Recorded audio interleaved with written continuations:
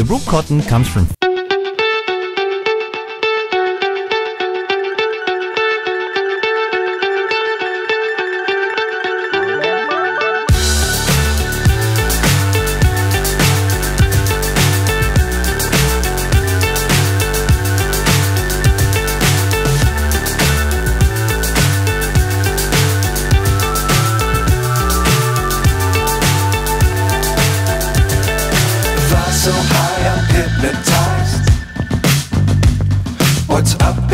what's left is right.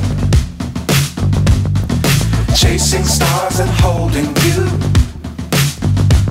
I can't see the end, but we'll see it through.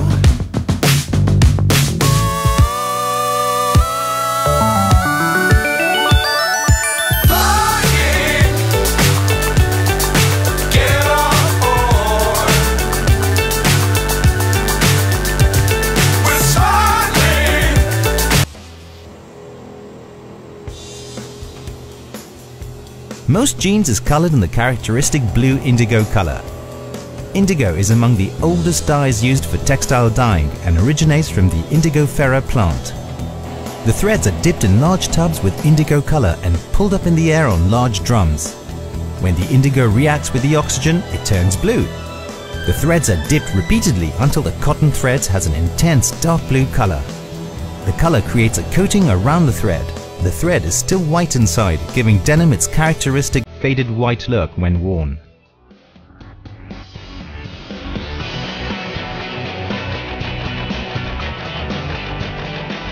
If you look closely at your own pair of jeans, you can see the twill pattern of blue and white threads.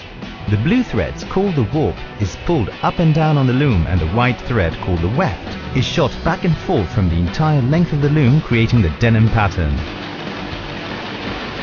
The most common weave is a 3x1, meaning that three warp threads are visible for every weft thread. That is why the weft is more visible on the backside of the fabric. Another type of weaving is selvage, used in our RDD collection.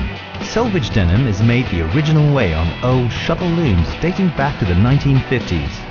Production speed is much slower than modern looms, reducing the tension on the yarn, creating a softer feel and a more durable fabric. These old looms requires more skilled workers and is only produced in Japan and Italy because of their long tradition in jeans manufacturing.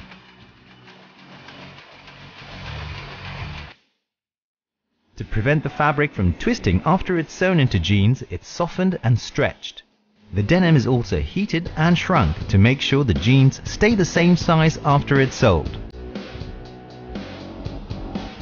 Before the denim leave the fabric mill, it undergoes a strict quality control.